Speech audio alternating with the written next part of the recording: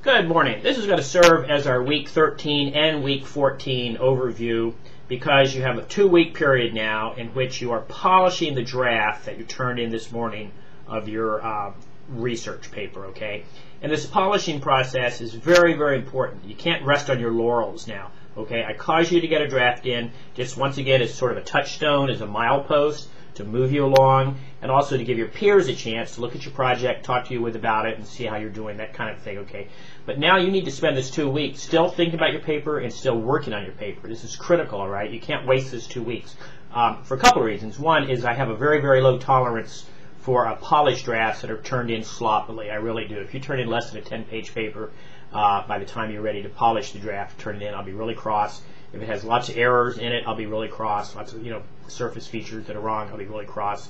If you've not developed the paper well, I'll be really cross, and I'll really deduct a lot of points for those kinds of things. Okay, I've had students turn in a six-page paper at the last minute and expect me to polish it for them, and expect that, and they still expect to get an A. That's not going to happen. The most you can get, all right, in the revision process uh, is generally 10 points. That's a little bit. That's about a letter grade, okay, and you can't even be guaranteed that. But it's a very important 10 points, okay.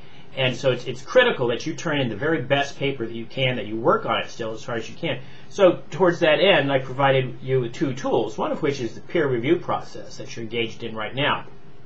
And it's a critical process, and I know I've mentioned this. Uh, sometimes it's frustrating, I understand that. Uh, so, so what you do is if you're not getting really good comments back from your peers, by good I mean substantive, okay, don't worry about that. Instead, be looking at your peers' paper and saying to yourself, wow, look what they're doing. You know, they're doing this really well. How come I can't do it this well? Okay, maybe they're integrating their source material really well. Maybe they have really good sources. Maybe they have lots of sources. Uh, maybe they're just really using direct quotes really well. Maybe their paragraphs are really focused. And you know how to look for that now because that's what I've been teaching you all semester, okay? So be looking for what your peers are doing well and say to yourself, am I doing it that well? Okay, am I, am I as good? Is my paper as good as this paper that I'm reading? If it's not, you need to go back and look at your paper and say, okay, how can I model what my peers are doing?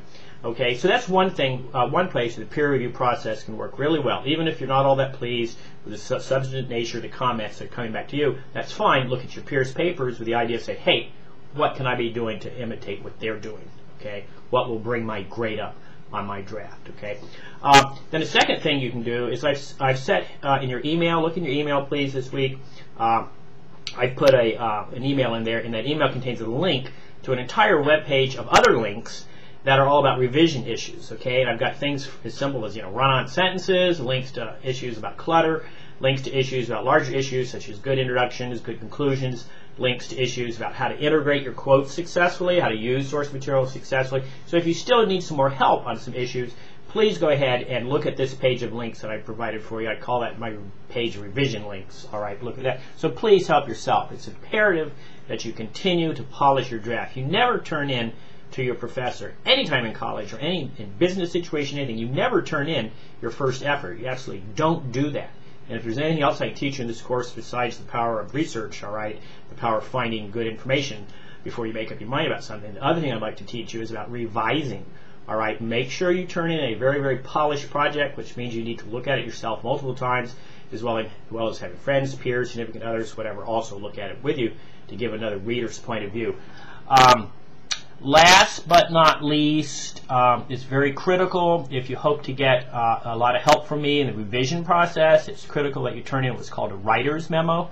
This needs to be a separate attachment, all right, and it needs to be a half page at least, if not a full page, telling me what you've done well in the paper. I want to know about that first. What have you done well? And then what are you, what are you still struggling with? What do you need some help with? This is called a writer's memo. I have to have this. I cannot uh, successfully help you revise your paper unless I get a clue from you what you're still uh, needing help with and also what you think you've done well with, okay? Because that way I can look at that too. And we, it's kind of a way to talk back and forth. I need your input. You need to tell me, uh, uh, you need to talk to me so that I can talk back to you. So that's what the writer's memo does. Please make sure you have that. I will grade you much more favorably if, if you have that memo. If you don't have that memo, uh, I'll be disappointed. It'll probably reflect in my assessment comments, that kind of a thing. So as usual, if you have questions, please email me. Email me over the, uh, this two-week period. All right. Don't forget, I don't work on weekends or holidays, so don't expect to hear from me then. Uh, make sure your polish draft is due in on time. I uh, religiously enforce the syllabus um, throughout the entire course, but right now even more so. Okay, it's critical that we all arrive at the end of the course on the same page at the same time. So hey, thank you.